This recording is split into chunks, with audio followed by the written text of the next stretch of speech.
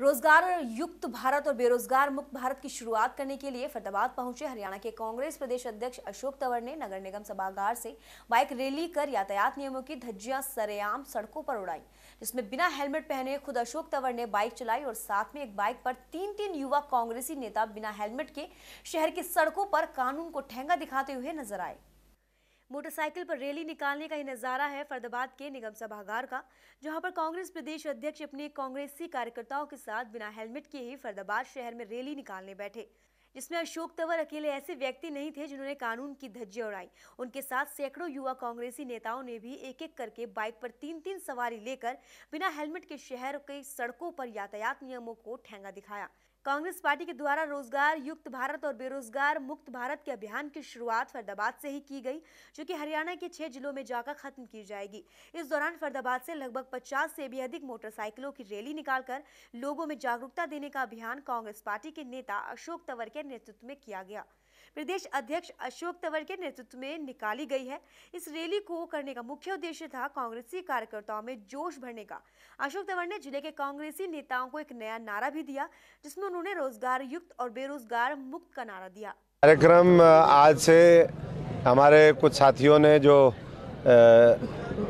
Non political साथी हैं और उन लोगों ने ये एक मुद्दा क्योंकि पूरे देश से जुड़ा है हरियाणा प्रदेश से भी जुड़ा है, पूरे समाज से जुड़ा हुआ है और युवाओं की बड़ी आबादी से जुड़ा हुआ मुद्दा है।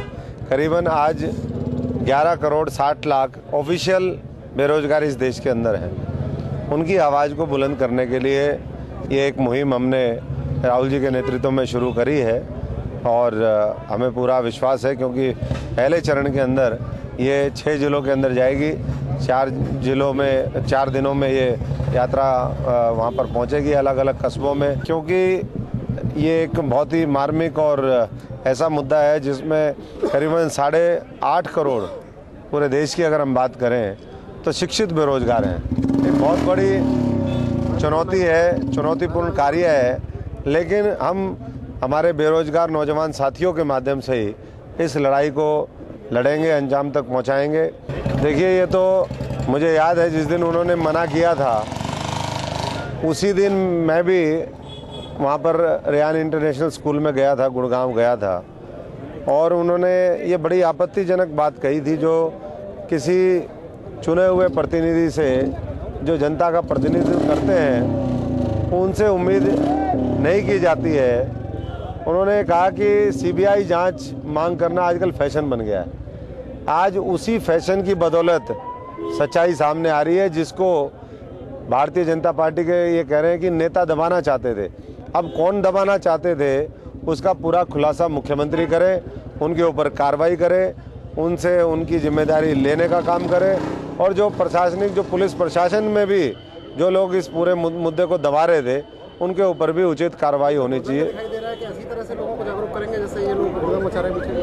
नहीं कोई हल्ला नहीं मचा रहा वो बुलेट बुलेट की आवाज़ है कोई नहीं साइलेंसर वो वैसा है उसका। को लेकर लगातार विवाद चल रहा है इस पर क्या नहीं मैंने अभी भी कहा कि और लगातार इस बात को हम पहले भी कहते रहे कि कोई भी समाज की भावना अगर किसी उससे आहत होती है चाहे वो कोई राजनीतिक दल उसको आहत करे चाहे कोई डायरेक्टर उसको याद करे और आज भंसाली जी ने जो ये काम किया है ये बहुत ही अनुचित है और उनको पब्लिक सेंटीमेंट के हिसाब से इस फ़िल्म को वापस लेना चाहिए। मैंने बताया कि अलाउद्दीन खलजी के बारे में और बहुत पॉजिटिव चीज़ें हैं जो उनको दिखानी है। तो अगर उनको फैसिनेशन है अलाउद्दीन खलजी से तो वो दूसरी फ़िल्में बनाए। उनका जो पूरे दुनिया में साम्राज्य फैलाने का था, जो उन्होंने मिलिट्री के अंदर रिफॉर्म करे, मंडियों के अंदर रिफॉर्म करे, जो उन्होंने ये दाग और चेहरा जो आज पुलिस में और आर्मी में हम देखते हैं और